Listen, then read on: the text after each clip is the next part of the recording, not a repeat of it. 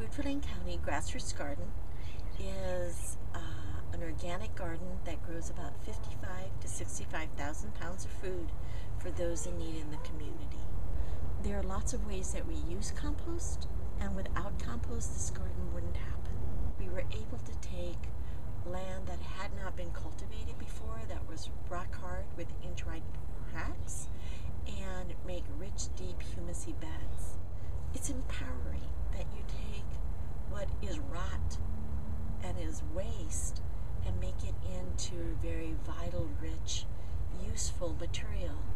Good things come from kind of.